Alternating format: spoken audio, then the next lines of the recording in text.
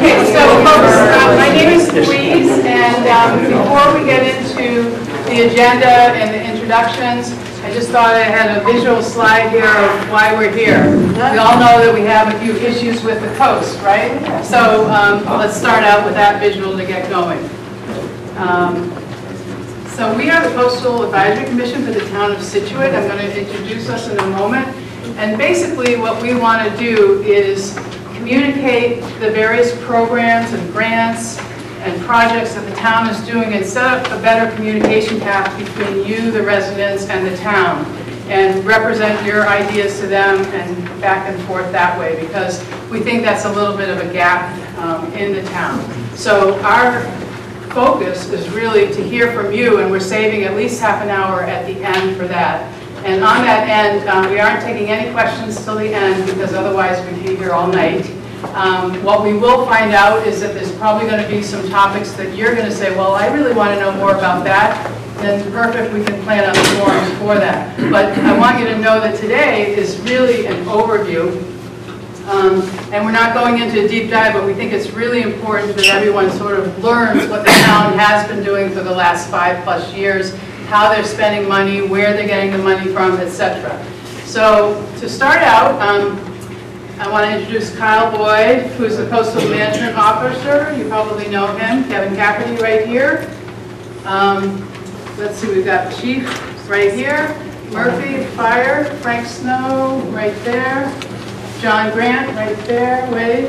And Linda is at the um, reception desk back there. Um, Tom Hall is also back there, and Paula is on vacation. Um, We also have Brad Washburn, Director of Planning and Development, most of you know him.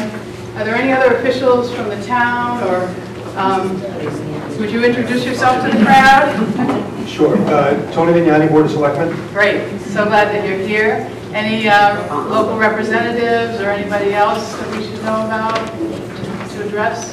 Um, Thank you for coming. Um, So anyway, this is, this is who we are.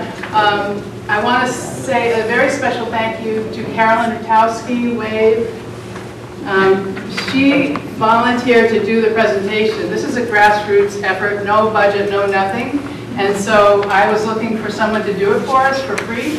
And so I contacted her, she's the department chair at South Shore VOTEC in graphic design and visual communication.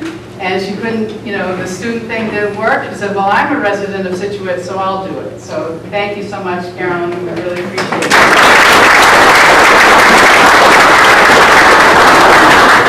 So, um, before we get into the overview of the projects, we feel it's quite important to just sort of be grounded in the basics of what are we dealing with in those pictures that you see? What are we dealing with in the sea level rise? So I want to introduce John Grant, who's on our committee, who's an oceanographer and also a coastal engineer. Uh, Hi, so sea level rise tends to get discussed as part of climate change a lot. Oh, sorry. Well, you have an agenda in your hand, so we can go right into this. So, um, We can just do this. so um, the thought was, how do we decouple sea level rise a little bit from climate change? So the minute climate change and sea level rise start getting discussed together, it becomes a hot button topic. And as a result, sea level rise doesn't always get discussed uh, sort of in the best way when communities are talking about shorelines, shoreline protection, and, and how our shorelines are changing and, and the issues that we face. So what do we know about sea level rise? Um, at no point in the Earth's history has sea level ever been constant. So over the last 18,000 years, it's risen about 100 meters. Globally, um, our local sea level has risen about 11 inches in the last 100 year. That's uh, direct measurements from Boston. Um, The major factors that are affecting sea level include glacial ice melt, which we have direct measurements of, uh, if you pick up any newspaper, if you look online, there's satellite photos that show the changing ice sheets. If you look at the before and after pictures of cold climate shorelines, you can see how glaciers have changed. So we know that there's a- an influx of that, thermal expansion of ocean waters as they warm. Again, we have direct measurements of of how the sea surface has changed. Uh, We also know it's a fishing community here. It's- We know how species have migrated, how they've changed, what we see by way of of sharks, of fish, of other things, that that that's warming. Um, and land subsidence. That's not a huge chunk, that's uh, not a lot different than sort of what you see in your backyard by way of of land impacting. Um, So what does it mean in the future? So this is where sea level gets back into climate change. Um, It's, these are sort of forecast graphs that I'm sure you've all seen from many different things about what the forecast of the future will look like. And to some degree, it's less important right now, today anyways, whether Scituate ends up here, here, or up there. What is important is the fact that we can all agree on the fact that sea level has been rising, it is rising, it's going to continue rising at an increased rate, and that affects us as a community. So how does it affect our shoreline? So this is a very simplistic sort of of look at it, but every shoreline um, is unique. It has a unique set of characteristics that make it up, whether it's it's bedrock shoreline, whether it's rocks, whether it's cobbles, whether it's sediment, what type of sediment, what type of drainage, upland features, and there's a unique energy profile that faces that shoreline.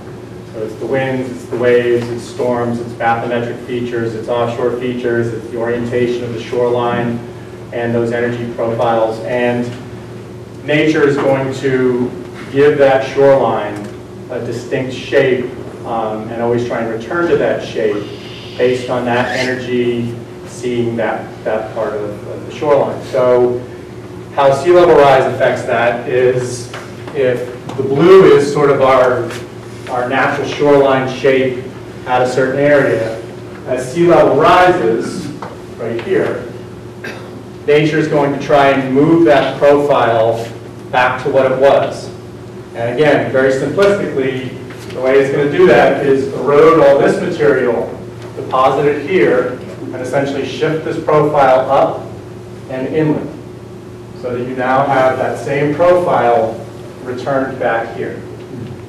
And the way it's going to do that by taking this sediment and moving it out here is you end up with this shift, gives you a a corresponding retreat inland.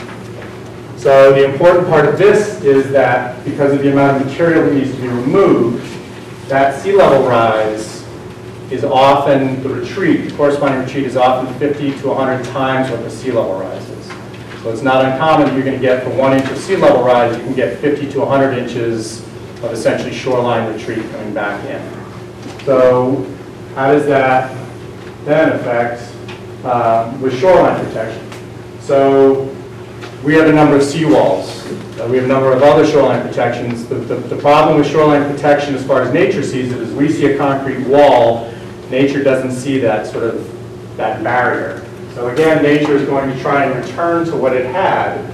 So as sea level rises, nature's going to try and recreate that profile. The problem is now, it can't erode this material. It doesn't, it's not able to get at it. So what's going to happen is you end up with erosion here, which gives you a smaller deposit here, and this profile, instead of shifting slightly in, shifts further in, and the resulting issue from that, or the complexity, is that the depth at which your waves break is now moved here. So the resulting problem from it is that you have breaking waves now much closer to the seawall or the shoreline protection. You have additional erosion at the base, and you have sort of an overtopping of waves getting behind the seawall and over the top of the seawall. So it just adds complexity. So it's not good, it's not bad, it's just how the system responds. So we just wanted to touch on it real quick so that everybody understands that it's, as sea level rises, it is rising. It just adds complexity to our conversation and how we discuss things. But it's a lot easier to discuss how we address these things if we sort of all start on the same footing as far as how our system is changing and why. Thanks, John.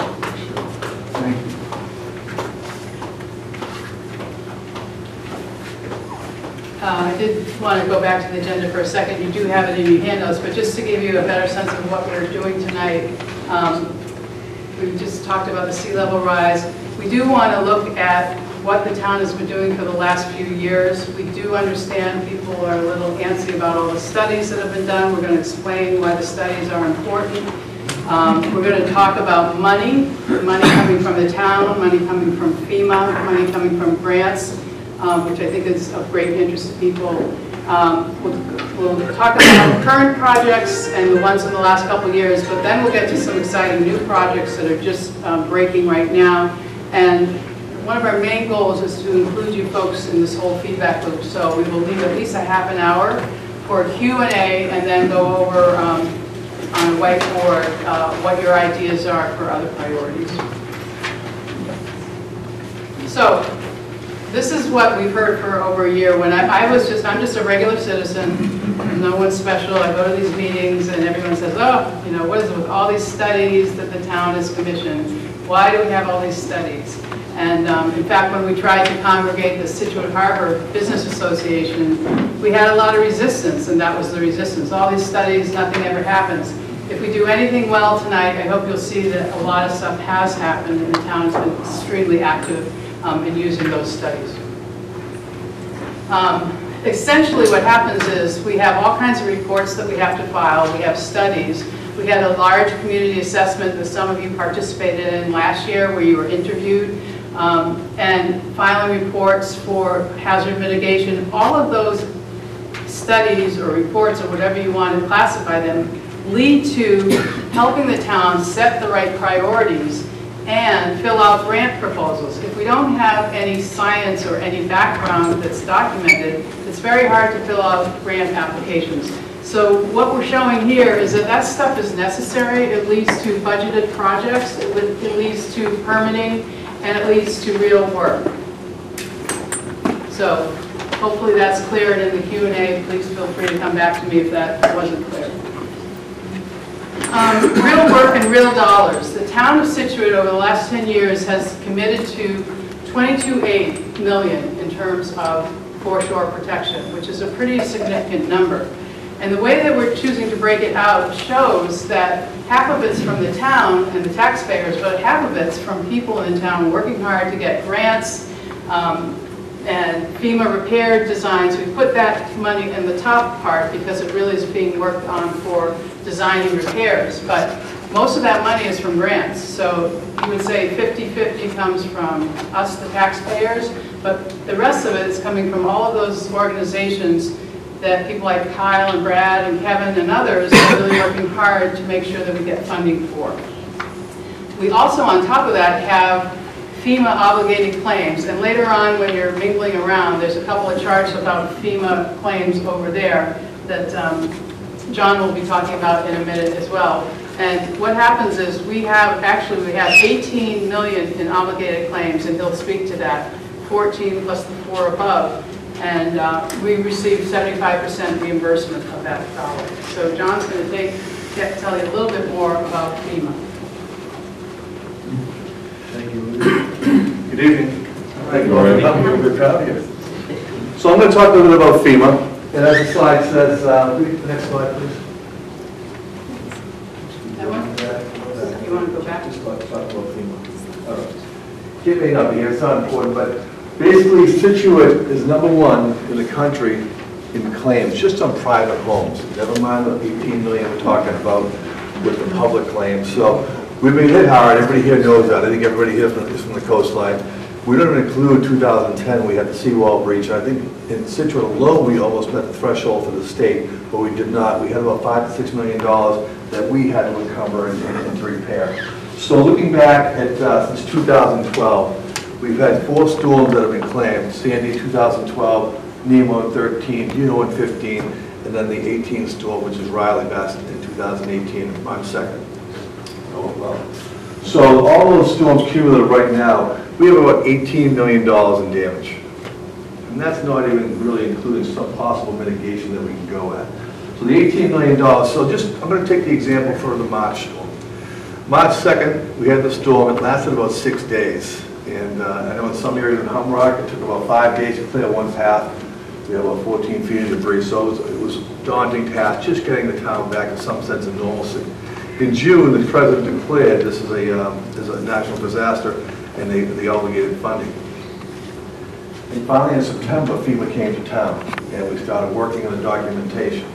documentation, documentation, documentation. We've been working on that. We finally completed our non-coastal stuff. We're still getting emails to finalize, but the documentation, I mean, dozens of hours every month. I mean, on top of our other jobs, so the documentation, and it's black and white with FEMA. You know, if you don't meet that criteria, we need more information. We've gone to some point, we've given so much information, information, they say, oh, sorry, that doesn't qualify. Because they have so much going on countrywide, they have a lot of people that sort of green to it. That, and that happened this year, but he learned a lot, and we're getting it done. So it's a lot of work to get to this point, to where we now try to get these projects obligated. What obligated means is, when you give them all the information, they approve it, and now it's obligated. Basically, the feds send the money to the state, and MEMA holds on to that money. So we have, uh, most of the storms in the past, we're still waiting for Riley, which is about seven or eight million dollars out of that 22, but most of that money's been obligated. There's one project that's over five million dollars, and they call it an RFS. They won't release that five million dollars, but it's been obligated because such a, a large amount of money. It's a third cliff project. They're gonna hold on to that until we start doing work. We don't get the reimbursement until we complete the project. So that's what creative financing, what we're gonna try to do is try to do it in phases. Maybe do twenty percent, all right, give us back some money, put it in the kitty, start doing the next phase. So we, um, with Sandy, Nemo, Juno, and and Riley, we have four locations that have probably eighty percent of the damage. It's mostly coastal revetment, uh, a lot of the foreshore protection there. And for the first time that I'm aware of, FEMA has allowed us to combine those projects. Otherwise, to try to manage that and say, this is from this storm, this is from this storm, that's from that storm, that's what it was until we got that basically agreement signed um, or or obligated from them to do this spring. So that's what we're going to do. We're going to try to get out. We have a deadline of December 30, December 31st, 2021 to complete this project, all these projects. So it's been a challenge because every time you start it and the DPW engineers, it gets ready to go out, we get another storm, get more damage. So that's the FEMA process. It's daunting. Hopefully, we don't get any, you know, major storms that can impede our progress. But right now, FEMA's working with us to get those four big locations moved forward and try to get these projects out and get them done and get it completed and, and, and make our towns more resilient. If you want to go to the next claim, it'll give you an idea just as far as the, um, all the money totaled up and the- and it's going to cost a total of eighteen million dollars. And FEMA will pay seventy-five percent. There's still some other options as far as mitigation that we may further look into, but we're still obligated for our twenty-five percent. So when you come over here, you look at these charts over here, this chart will show you, these are the four storms, and it shows these four combined project locations that we're trying to get uh, FEMA, which they did allow us to to move forward. And that's the only way we can move forward, so um, that's the process. It's mainly the DPW engineers, finance, right now emergency management is- is myself and the deputy chief. There's a handful of people that have been getting information from every department. And every department's worked hard. They've all worked hard to come up with documentation that they need. When you go out and say, all right, somebody was working on a truck, what size truck? What size engine? Uh, Four-wheel drive?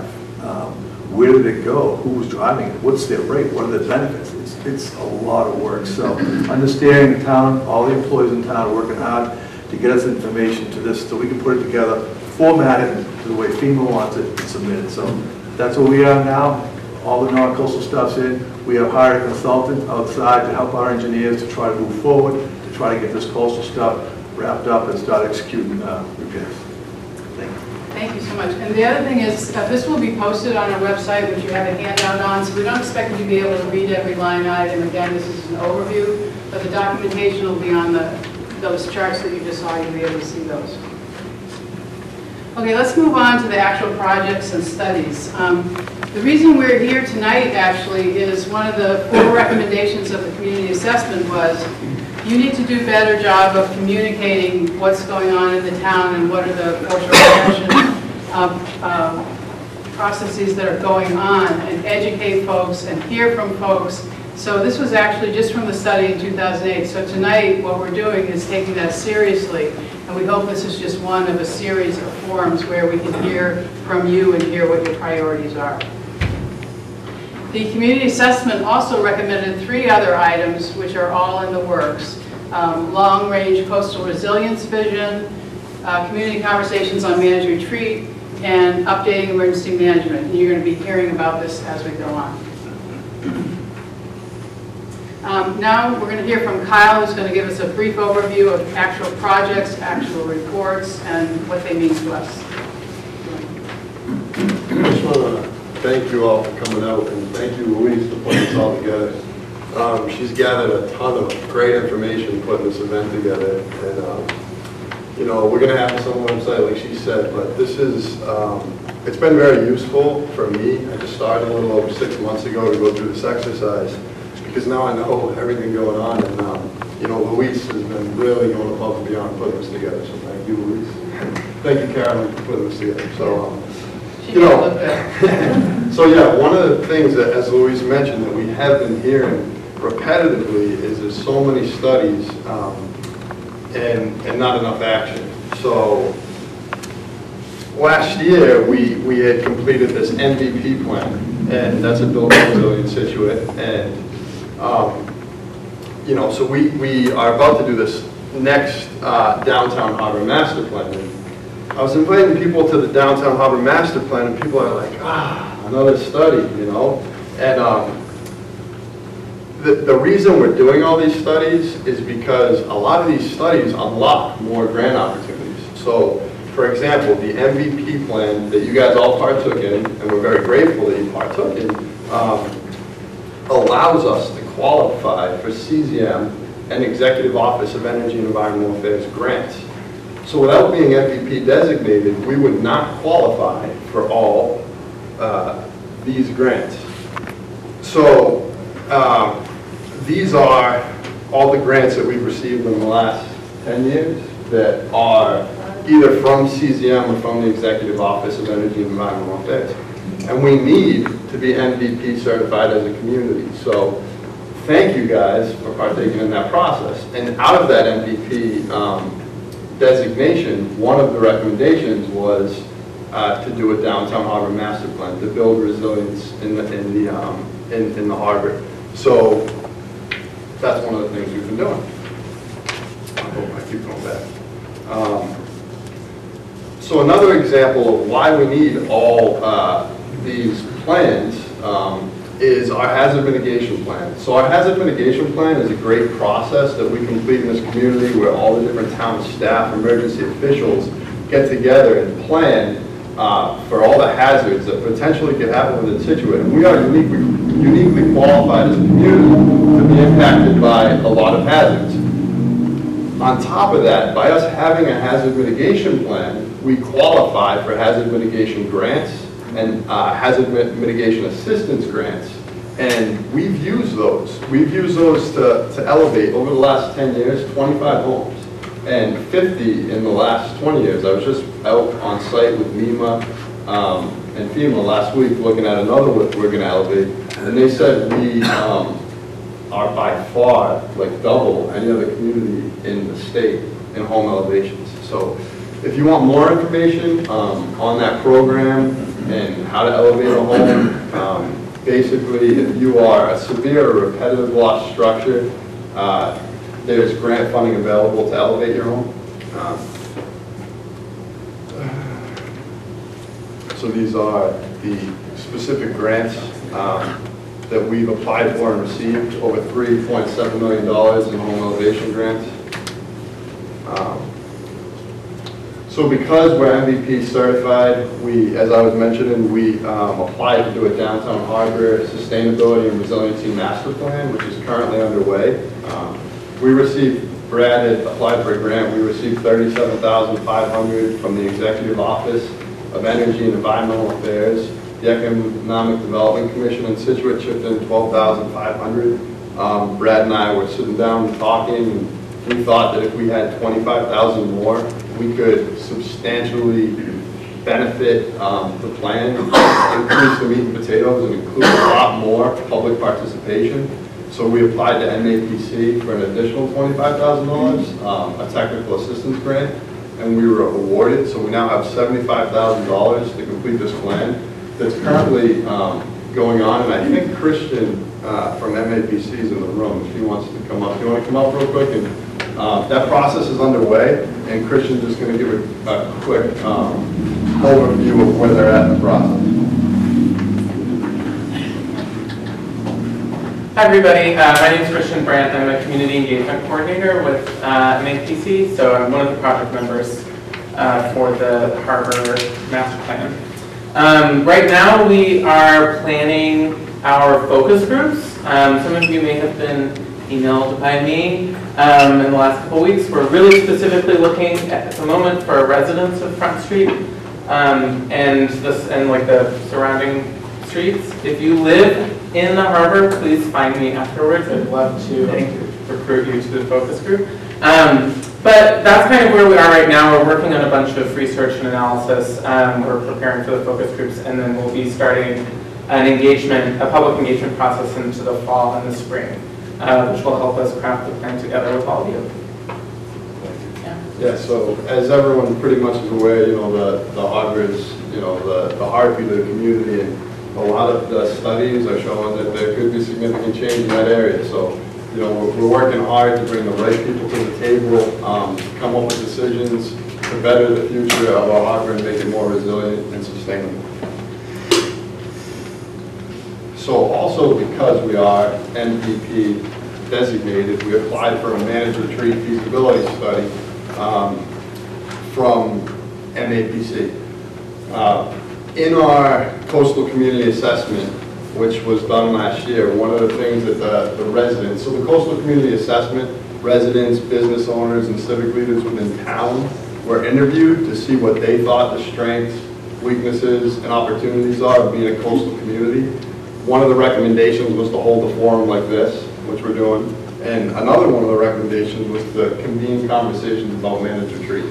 So we had been approached, before my time here, um, the town was approached by residents of Peggotty Beach, interested, in- interested in exploring options for Peggotty Beach. Um, They came to us, you know, what can we do, what are some potential, we know that, you know, the future's coming quick, and they are open to basically just seeing what those options are. So one of the um, exercises we're doing is seeing if they can move back and up. Um, There's a town piece of land behind there, seeing if that's feasible. Just basically, you know, the the $35,000 grant we received, the majority of the funding is being used on interviews with the residents because we want them to kind of lead the conversation um, and, and basically, we're we're kind of trying to gauge, you know, what actually are the residents of Peggotty Beach interested in doing, so we can start from there. Oh, I'll back up. All right, hello, everybody. Uh, Brad Washburn, Planning and Development. Um, So this project in North Scituate and Minot Beach uh, was actually one of our first coastal resilience grants, well, I think back in 2015, Kevin, if I'm not uh, mistaken. And this was so that we applied to the state to re- uh, receive funding for both design, engineering, and permitting for a beach nourishment project. Um, It was funded in successive phases, and again, we we got up to the point where we were shovel-ready. Um, And actually, I was still working at the state, the State Coastal Zone Management Office, worked as kind of the coordinating body to go after federal money. So 2015, 2000, no, I think it was 2017, um, the Army Corps issued, um, ran a grant program essentially countrywide throughout their 10 uh, districts. And basically what it was, was a beneficial reuse project, where they would basically fund dredging project and then fund um, the actual placement of that material on the beach as well. So we partnered with the Department of Conservation and Recreation um, down in Nantasket Beach, the towns of South, uh, towns of Salisbury and Newbury, and we created kind of this regional application. We applied to the Corps, um, although, you know, I think we had a really good shot, we had a great project. You know, every town, a tremendous amount of material. Even if we'd only gotten a piece of that, it would have been, you know, tremendous benefit to us. You know, unfortunately, our project was not selected. Um, It's not a huge, uh, huge surprise. A lot of the uh, funding went to the Mid-Atlantic to deal with some of the post-Hurricane Sandy efforts. So those were the projects that were funded, and we unfortunately didn't get funded, but again, we're keeping our eyes peeled, um, you know, for this project as it is shovel-ready. We received almost a half a million dollars in funding um, to kind of get it to that point. Uh, The second project, uh, again, another um, alternative or another priority identified in know, one of the studies, it was a 2016 analysis done by Applied Coastal, um, was, you know, attention needed at Humarock. Um, So there was the Humarock roadway elevation beach and dune nourishment project. This project essentially called for the elevating uh, Central Ave and doing a a mixed sediment dune nourishment project on the beach side. Again, we see flooding and coastal erosion from the ocean side, and we were seeing kind of backside flooding along Central Ave. So this project was intended to address both of those issues. Um, Again, this project predated me. Um, There was, we received funding again in successive phases to do design, engineering, and permitting. So we got the project to the point where it was shovel-ready. Um, When I came on board, we were still having conversations with residents about potential easements that we needed. Um, Massachusetts is a little unique that folks can own down to low water. So a lot of the project area is actually owned, you know, by private landowners. So in order for the town to do the project, we have to receive easements to, you know, be able to access their property and, and maintain this in the future. Um, Despite best efforts, I think there was still kind of some unease about this, the easements, and we did not receive enough easements to move forward with the project. Again, we're ready, we're right up to the point where it's shovel-ready, we're keeping our eyes peeled, but for now, um, this project is on hold. Thank you. And Kevin gets the uh, the limelight on the biggest success. Well, thanks for coming. My name is Kevin Cafferty. I'm the DPW Director. And um, one of the things we're going to talk about is the Oceanside Drive seawall that is recently in. Um, As John said before, and uh, Chief Murphy said, FEMA is difficult to work with. But one of the things we're able to do is get funding for this through uh, the state. So we received grants as well as some low-interest loans from the state, and we were able to do this seawall. Um, A few years back, working with the selectmen, we were able to get $200,000 in our budget for grant for seawalls and $200,000 for roadways. So we use that money to construct plans, permit, and get that all taken care of ahead of time. When we submit for these grants, we need to have a shovel-ready project. All permits set to go so that we start the project as soon as they get the grant. We go right out to bid. And there's a timeline, you might have a year to two years to complete this entire project. And they're pretty significant. So we had a lot of major, we had a major study in 2015 over coastal erosion. That helped build our case. Um, We had begun development of a four-phase rehabilitation area. We classified Oceanside Drive as one of our most troublesome areas. The reason is we had huge flooding in that area. It was, you know, affecting a lot of homes. We were also able to upgrade the drainage when we did it. Um, So, go to the next slide. Oh, there's one other one. Yep. So this is, this is a seawall, and this is some of the construction work that goes on. Um, We raised the seawalls up by two feet. So we increased the size of two feet. Everybody says that's easy. A lot of people said to me, why didn't we just raise them up by two feet in the first place? Um, It'd be a lot easier. But the problem is the force of the waves come in, and it creates a, a turning effect on the walls. You have to go deeper on them. Also, because we're losing all that sand out in front of them, we have to go significantly deeper. So we go down four to five feet deeper, and we also go the spread footing. So the problem we have is when you go that deep, you might be six to seven feet off of a house. So a lot of support goes in and a lot of effort goes in beforehand to take that out. The other thing you have to do is you have to remove the old seawall. So at that time, we're all nervous and crossing our fingers that we don't get any storms. So I want to talk about um, DPW with my guys also. When these construction projects are going on, we have uh, myself, um, engineering supervisor, and two engineers. So we basically work on this job, just takes up a ton of our time uh, with resident complaints, concerns, oversight of the contractor. We also use um, engineering firms in with us, but to keep the costs down and build these projects what we have, we put a lot of our staff on this. There's at least one engineer full-time on this job, while the job's going on, as well as, you know, we have weekly job meetings and everything else. It, it takes a lot of time from everybody. Um, The other thing is, even with all the FEMA work, Chief Murphy was talking about all the FEMA work, basically, in the DPW for the past three years, I've got Dan Smith, who I believe is here. Dan? Raise your hand. Dan Dan has spent probably the past three years full-time working on FEMA, getting FEMA stuff. So that's, that's stuff that's not, he could be working on other things for the town, but it's stuff that we need to do in order to get these grants. So, and meet all the requirements to get this FEMA money. So it's, it takes a lot of effort from everybody.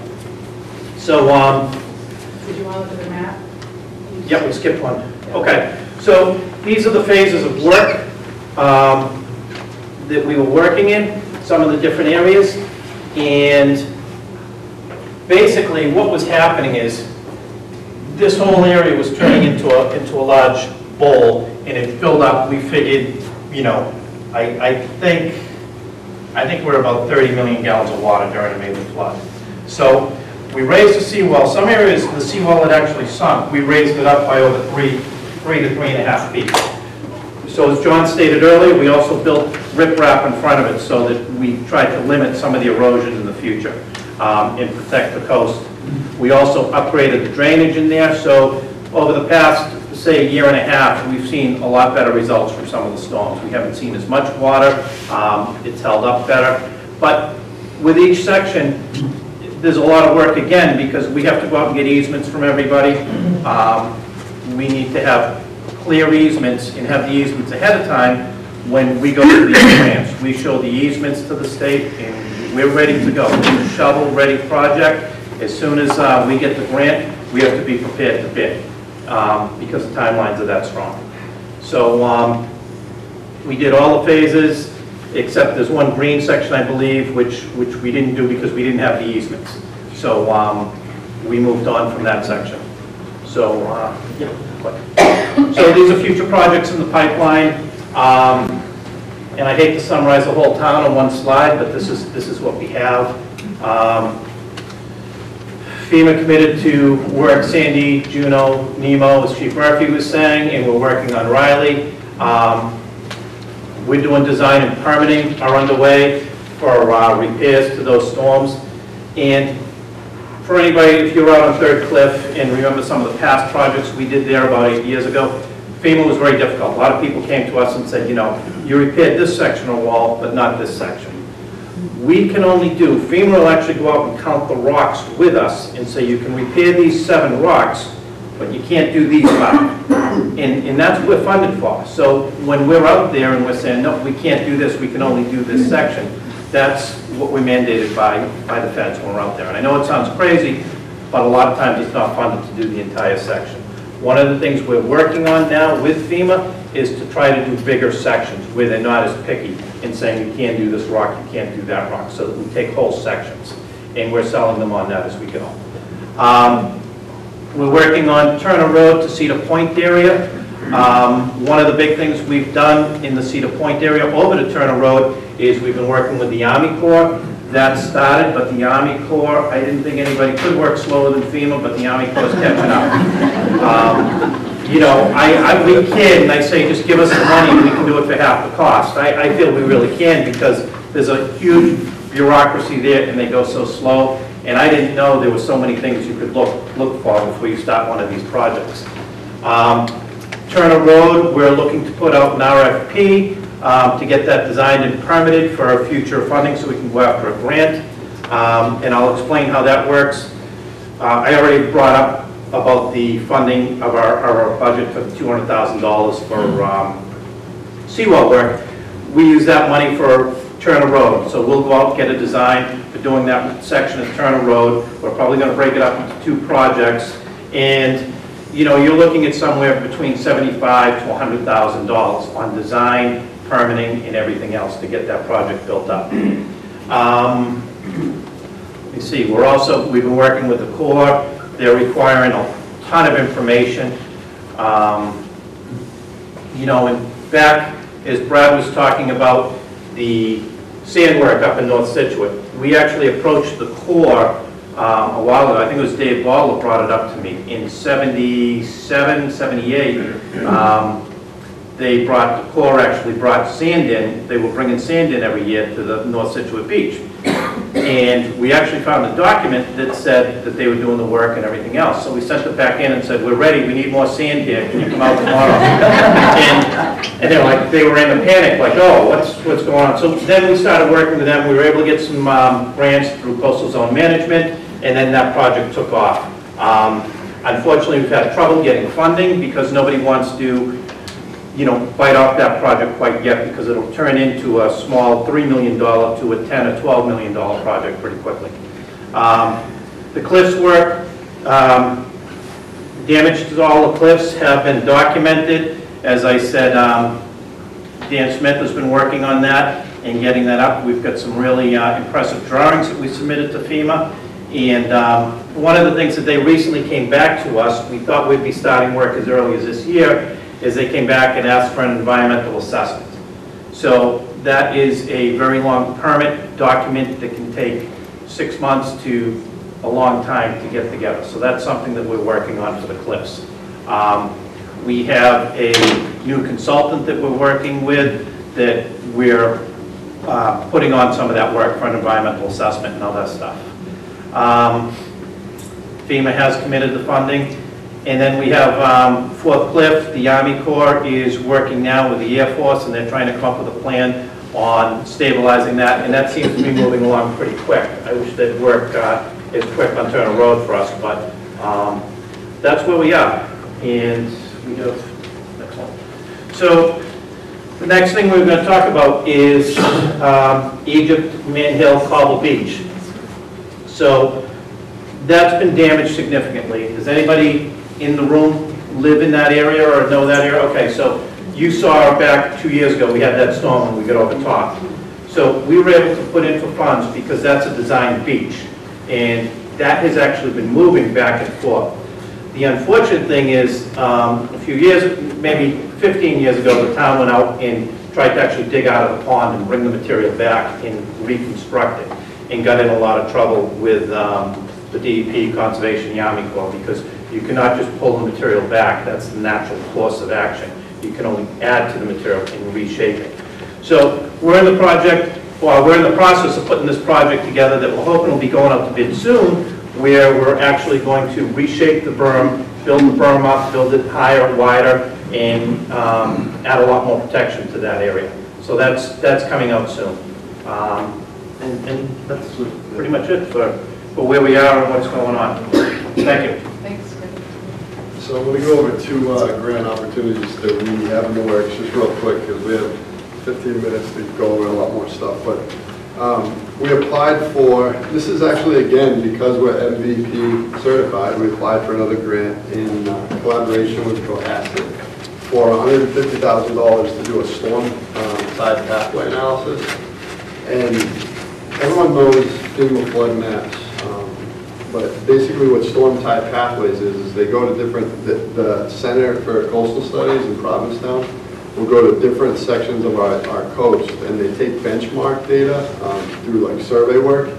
And at the end of it, they provide real-time data for how flood will enter your community, um, flood waters will enter your community. So basically, eh, you know, I've heard the feedback, like, we know how floods enter our community, like you guys do, you're familiar with that. Um, But if we're projected a cer- certain amount of storm surge, we'll be able to say to the the fire chief, this is exactly where you guys should be sending your resources. These are the roads that will be shut down, um, based off of the data we have.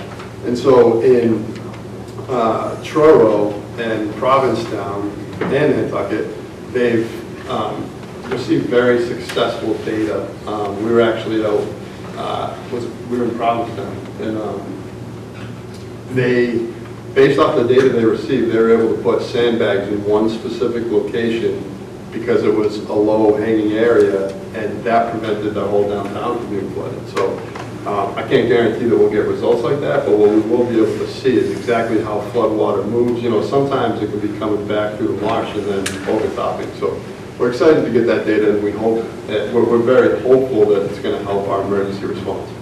Um, So we touched on Humarock quickly. Um, Brad and I just applied for uh, a grant from CZM, um, a $250,000 grant, uh, to to come up with a 50-year coastal vision, um, which will be community-led for the town of Scituate. So basically, uh, what we applied for is to have the Consensus Building Institute go to each section of the coast and meet with the residents of that area and basically talk through the, the hard-hitting questions and try to come through, uh, come, come up with some consensus. There'll be a lawyer on the team, there'll be an engineer, but it's basically, you know, sit down, like, we'll show our cards, this, this is what we have proposed, how do you guys feel about it?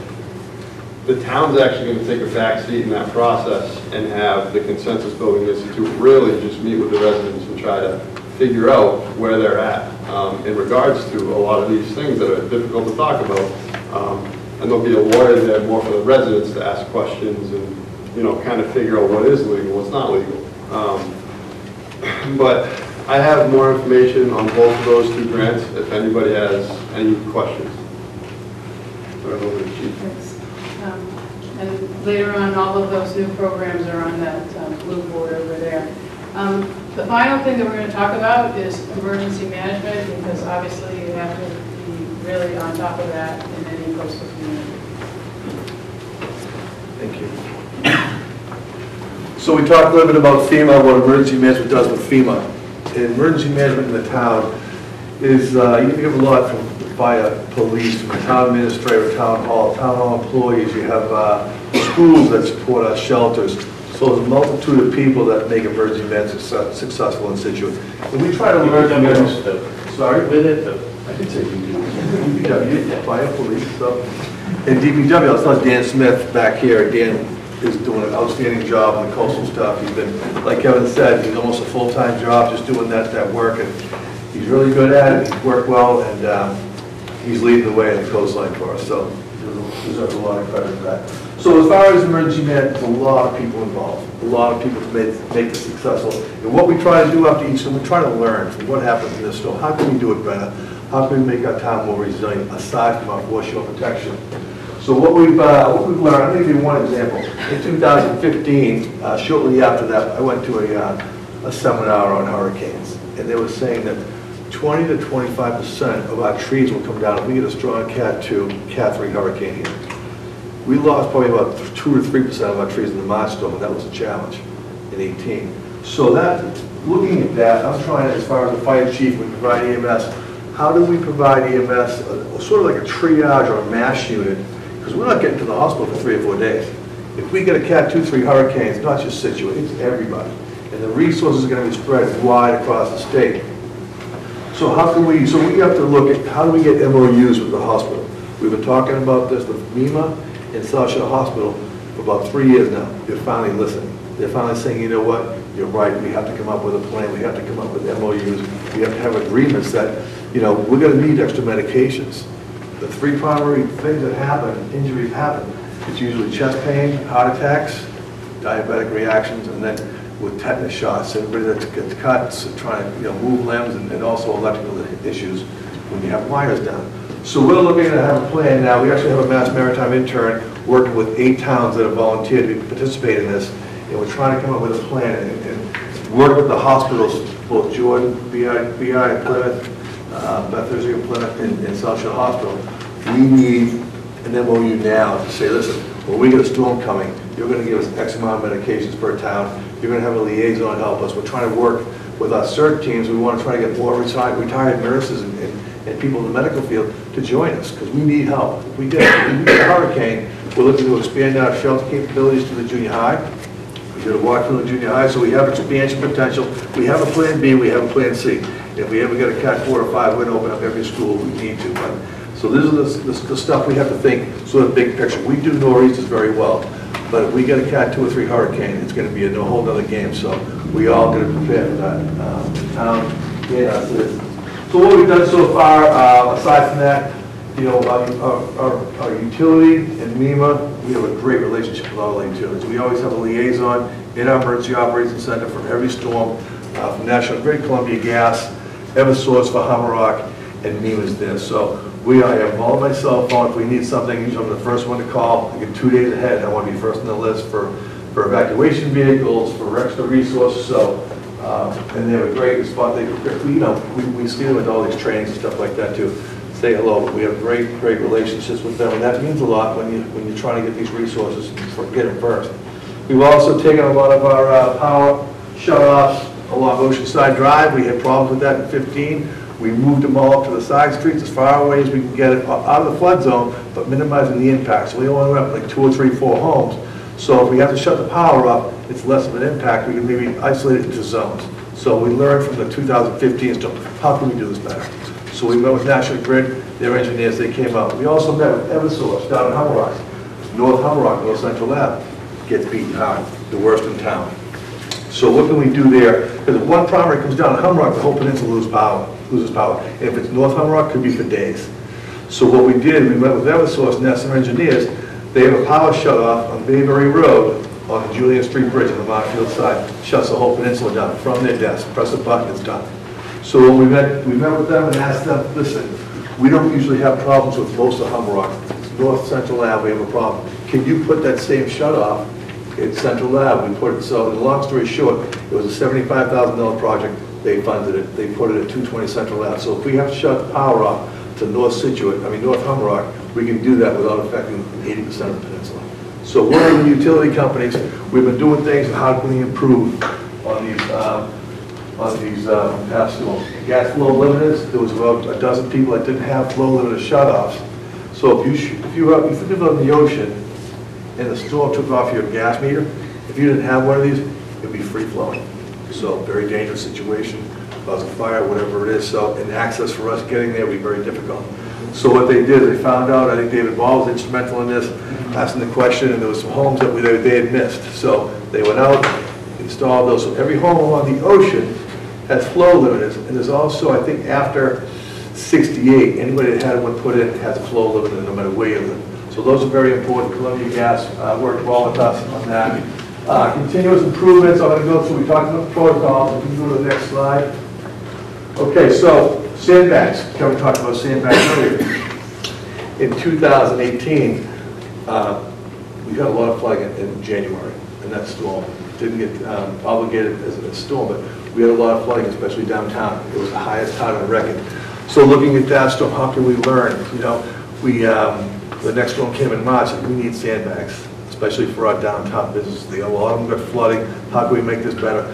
So we got sandbags from MEMA, we got piles of sand from DPW, and we shoveled.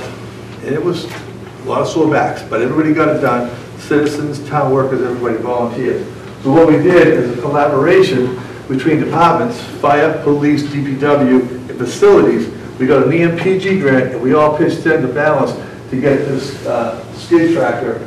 It's the front mount, Kevin has a tractor for it. We can make 640 sandbags an hour with no backs getting hurt, injuries. So, so we can, we're gonna have this, uh, probably maybe at St. Mary's again, depending on when the storm is, where it is. We now have the capability through a grant and, and, and different, uh, departments working together.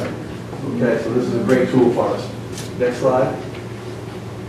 This is the dewatering pump. If you remember in 2015, 11th, 10th and 11th Ave, the pooled water there, since DPW was fixed and, and and made that drainage much better, but they had two or three feet of water, it was freezing. And they couldn't get to the homes, the top was starting to freeze. So we put in for a grant to the Department of Fire Services, and Patrick O'Connor, that got us this pump, it's 1,600 gallons a minute, it's a six-inch intake. This is just for neighborhoods, not for homes. This will take your dog and cat in two seconds. So, uh, this is not a problem. We got, we got this grant here through uh, $40,000 paid for by the Department of Fire Services. We also got $100,000 towards the uh, Humarock Fire Station, which we're looking to, to replace, uh, phase one, hopefully this fall, and phase two in the spring. So Humarock will have a a more resilient fire station. Both storms, we had water hit the floorboards. So we need to improve on that. Again, how can we improve from that storm to the next? And that's what we're trying to do. On our emergency uh, management webpage, you go to our town page, go to emergency preparedness, if you go to the next, next slide, we have um, code red. If you're not signed up for reverse 911 code red, click on that. Give me your information. Critical information, you could be in the middle of the night with a seawall breach, you're gonna know about it, but if you don't, know it's code red, it's very important you do so. And let your neighbors know as well.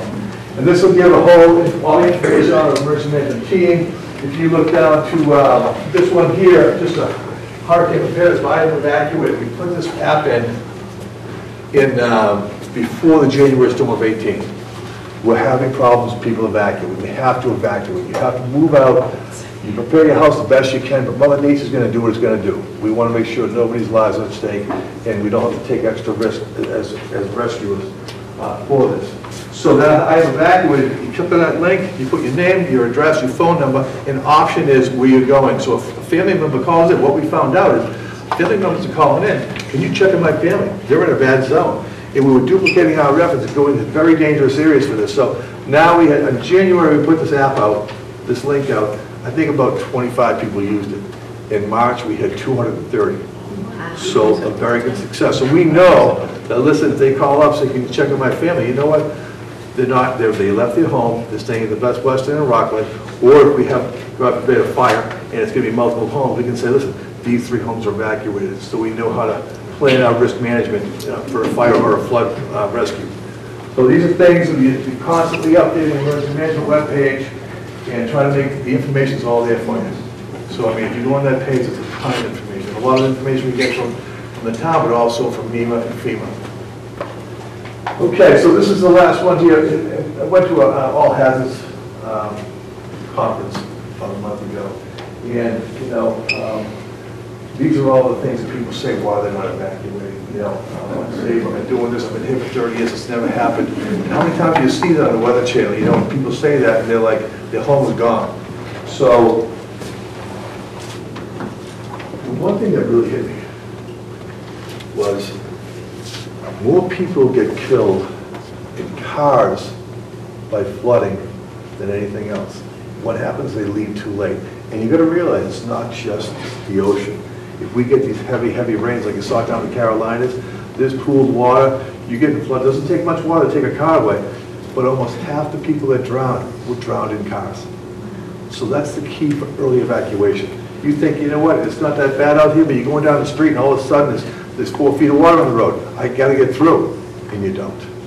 So it's early evacuation, early planning is critical for you and the safety of your family. So, um, cardiovascular uh, events, number one, um, diabetes, so we're looking for find ways that we can create, if we get a big storm, we can't get you to the hospital. We're gonna treat you with our paramedics at our, at our uh, triage center in our shelter. So that's what we're trying to plan for now, and that's the latest, what we're trying to work on. And Hopefully by, by September, we'll have all the protocols, we'll have the MOU signed, and be able to work with South Shore Hospital and the towns around us to make it safer for you. Thanks. Thank you. Okay, so this is a summary of all the new programs that you just heard about. Again, it might be hard to read from where you're sitting. Um, This, in addition to some of the programs that Kevin mentioned, um, we are going to be posting this on our website so you can read it more thoroughly. They're also outlined on that blue chart over there. But we're really excited to see all this activity that's new. You heard about the old, the present, and these are the new uh, programs that we're doing. Um, I'm excited that we're on time for our Q and A. Um, Our website is on your handout as well as on this handout. Um, We will be posting this on that. Um, We will also post our next meeting dates, and we have um, decided to follow suit with other town meetings where the first part of the meeting will be open forum. If you want to come and tell us what your issues are that you would like to see addressed by the town,